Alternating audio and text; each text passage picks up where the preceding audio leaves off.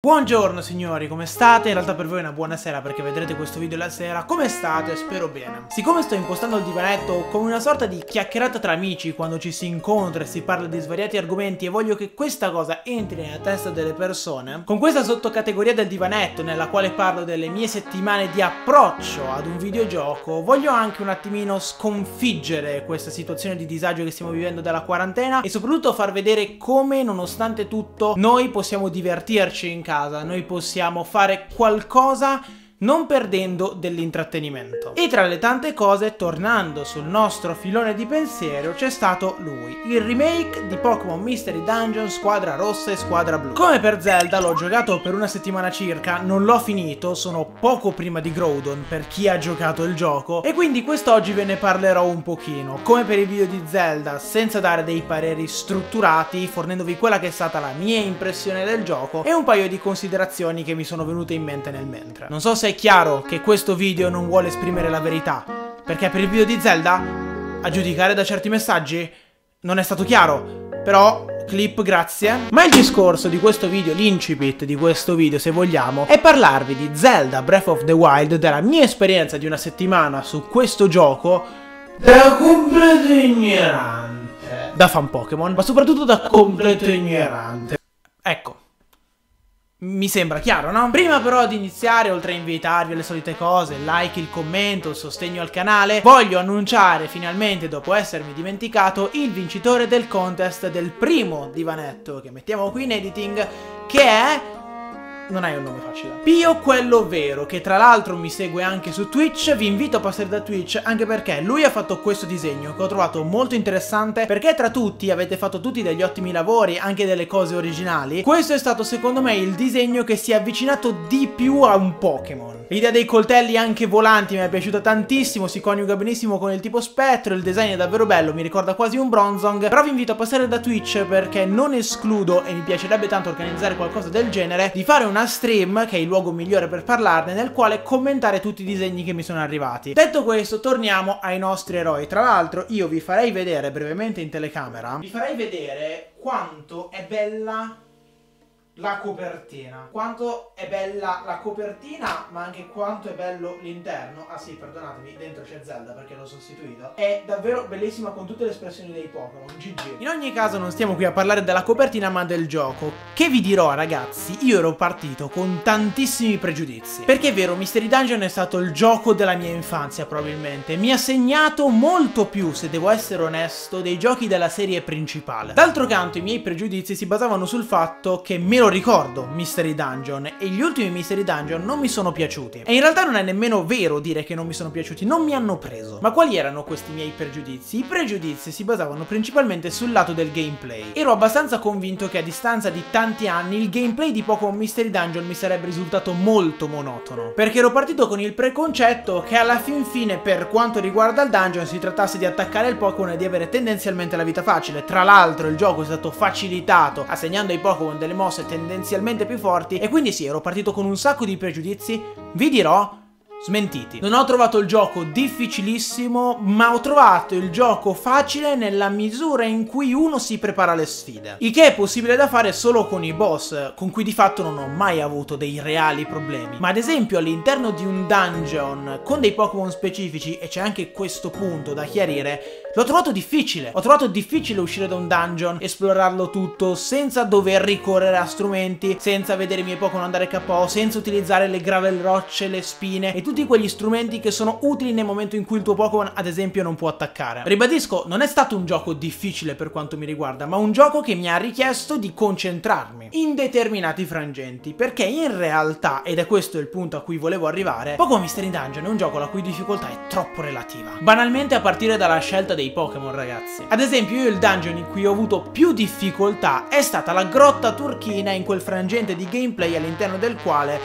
Eh, non famo spoiler. Insomma, in questo dungeon che si chiama Grotta Turchina, ragazzi, io non avevo revita al seme, perché c'è un punto all'interno del gioco nel quale effettivamente non puoi reperirti con facilità gli strumenti. Chi l'ha giocato lo saprà, chi non l'ha giocato, nel caso lo voglia giocare, lo scoprirà. Trovandomi senza strumenti con il mio compagno che era uno Psyduck KO, io avevo Bulbasaur. Ragazzi, io ovviamente ho fatto il test e ho preso il Pokémon che mi è uscito, non sono andato a scegliermene uno casuale. Perché? Perché mi sembrava molto più coerente con la logica del gioco. Beh, sta di fatto che in quel momento io con Bulbasaur da solo ho dovuto tarare attentamente tutte le mosse, quindi utilizzare i sonniferi nel punto giusto, pregare che entrassero, perché c'erano i Golbat che mi aprivano, io non potevo fare niente contro quei Pokémon. Quindi io per la combo che ho avuto di Pokémon, che comunque sono stati ottimi ragazzi, Psyduck anti-meteo, ogni volta che c'era la grandine, la tempesta, come se non fosse nulla, quindi non è vero che era scarso e Bulbasaur aveva Sonnifero, quindi era una carta vincente contro i boss. Fino adesso io non ho perso una battaglia con i boss perché li metto a dormire. È ovvio però che una persona che magari ha scelto un determinato Pokémon potrebbe avere meno difficoltà nella grotta turchina e più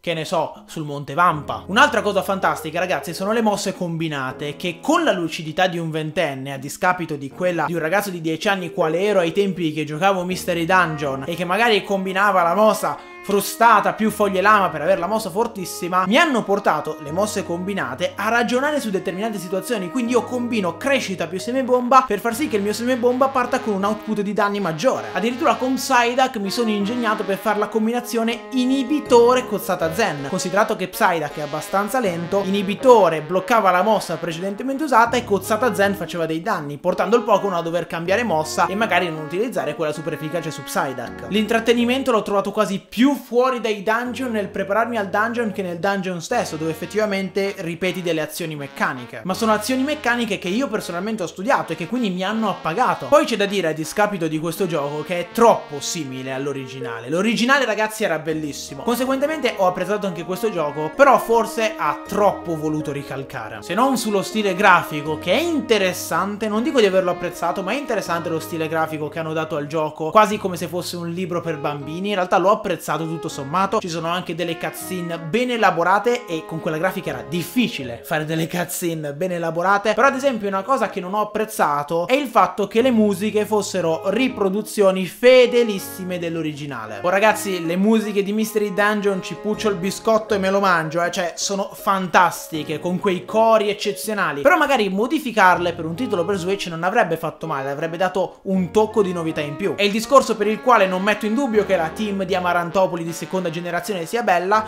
ma il remake di quarta forse lo è ancora di più. Non spendo neanche parole ragazzi sul postgame perché non l'ho giocato, so che il postgame di Mystery Dungeon è infinito, quindi mi preparo psicologicamente, quella parte sarà eccezionale. C'è da dire che il gioco, nonostante mi sia piaciuto particolarmente, nonostante comunque nella sua grafica molto fiabesca riuscisse, secondo me, a dare un tono veramente importante ai personaggi importanti, penso ad Alakazam, che secondo me è efficacissimo nella sua presentazione, c'è da dire, vi dicevo, che forse 60 euro anche no. Ma per il fatto che è molto simile all'originale, a parte il comparto grafico, di fatto io credo non aggiunga nulla. Però parliamo di minuzie che sinceramente reputo poco interessanti. Quello che è interessante è il titolo di questo video che voi vedete e che avrà baitato forse un po' di voi, perché sì, dopo aver giocato questo titolo io mi sono accorto del perché personalmente io ritenga Pokémon Mystery Dungeon lo spin-off Pokémon più bello. Più bello chiaramente per me, ma se dovessi parlare per voi, quindi se dovessi dare dare un parere oggettivo, lo spin-off Pokémon più interessante. Ed è interessante più degli altri, più di Pokémon Ranger, più di Battle Revolution, che comunque sono bellissimi e sicuramente superano Mystery Dungeon a livello di gameplay, per il fatto che Mystery Dungeon pone al centro i Pokémon. Il significato di spin-off a livello televisivo, ma si può anche associare a livello videoludico, è quello di una serie videoludica all'interno della quale il personaggio principale ha svolto dei ruoli secondari in quella che è invece la serie principale. E volendoci riflettere su Pokémon Ranger, Pokémon Revolution, non fanno questo perché i protagonisti sono dei personaggi che non abbiamo mai visto, cioè i Ranger. Non che io mi stia ovviamente spingendo a dire che Pokémon Ranger e Pokémon Battle Revolution e che tutti gli altri non siano degli spin-off. No, cioè, non è questo il discorso. Sto dicendo che se ci atteniamo alla definizione di spin-off, io credo che Pokémon Mystery Dungeon sia il più riuscito, perché di fatto nei giochi Pokémon i Pokémon sono sempre secondari a livello di trama. Pensateci, in quale gioco Pokémon la trama è guidata da un Pokémon, dalle scelte di un Pokémon? Nessuno, le scelte sono sempre degli umani e i Pokémon sono una caratteristica del mondo che a queste scelte si associa. Pokémon Mystery Dungeon è in grado invece di dare spessore a dei Pokémon che sono sempre sempre stati secondari. Ninetales, Gardevoir, Xatu, Whiscash, non me ne vengono altri, però potrei andare avanti per ore. Mystery Dungeon fa quello che secondo me dovrebbe provare a fare anche la serie principale di Pokémon, cioè mettere al centro i Pokémon. Perché ogni Pokémon ha delle caratteristiche che se sviluppate in degli eventi gli danno una giustizia incredibile. Ninetales in Pokémon Mystery Dungeon è trattato divinamente ed è associato perfettamente alla storia di Gardevoir, quindi questa è una cosa che se hanno fatto su Pokémon Mystery Dungeon potrebbero fare sui giochi Pokémon principali, ma non la fanno perché Mystery Dungeon è lo spin-off di quello che i giochi principali mai sviluppano. Mentre Pokémon Ranger e tutti gli altri, per quanto bellissimi, sono proprio un discorso a parte con altri personaggi che si pongono al centro della trama e non lasciano spazio ai Pokémon per esprimersi. Su questo canale l'ho detto più volte, la forza dei Pokémon sono i Pokémon. Sfruttiamoli. Perché non è solo il poter essere un Pokémon il punto di forza di Mystery Dungeon, ma è anche il confrontarti con i Pokémon che gli dà spessore. Buona, io credo di aver detto tutto su Mystery Dungeon. In realtà questa riflessione sul fatto che Mystery Dungeon sia il migliore spin-off la volevo portare in un altro video, però ho ritenuto di farlo qui perché sono effettivamente le impressioni che ho avuto giocando a Mystery Dungeon per una settimana. E ho trovato la risposta del perché io sia così tanto affezionato a Mystery Dungeon. Che dire, fatemi sapere voi nei commenti che cosa ne pensate, se siete d'accordo con quello che ho detto, se invece volete fare dei piccoli appunti. Ricordatevi che parlo delle mie impressioni non fate come certa gente nel video di Zelda e ascoltate le mie parole. Ma tanto so che non succederà, perché verrò frainteso e mi beccherò la merda da gente come Boh. Fabio.